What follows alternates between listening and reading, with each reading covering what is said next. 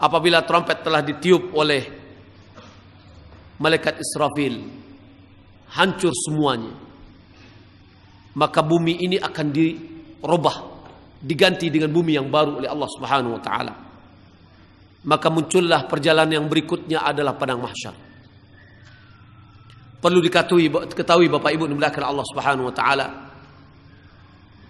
Malam pertama kita pada kuburan di dalam kubur. Jika kita termasuk orang yang sukses di dalam kuburnya, maka apa yang setelah itu akan ringan baginya. Mahsyar, hisab, ard, mizan, sirat dan langsung dia bisa pergi ke dalam surga. Akan tetapi kalau seandainya seorang yang tidak sukses di dalam kuburnya, maka apa yang terjadi setelah itu akan lebih berat lagi.